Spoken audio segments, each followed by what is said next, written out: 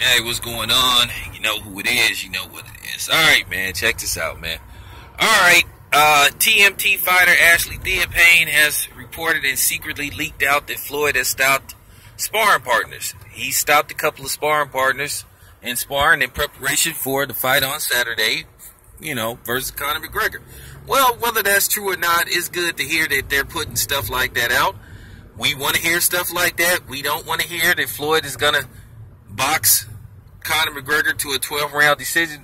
Look, at the end of the day, as fighting fans, we want to see Floyd punish Conor McGregor, but we don't want the fight to go the distance. If you guys catch what I'm saying, basically, we don't want it to end in two rounds, but at the same time, we want to see Conor McGregor get his ass beat. You know, we want Floyd to end it in about six or seven rounds. That'll that'll be enough. That'll you know, that's basically what we're looking for. So at the end of the day, it's good to hear that Floyd is getting these guys up out of here because we want him to get Conor McGregor up out of here. And that's pretty much the bottom line. Anyway, I'm out.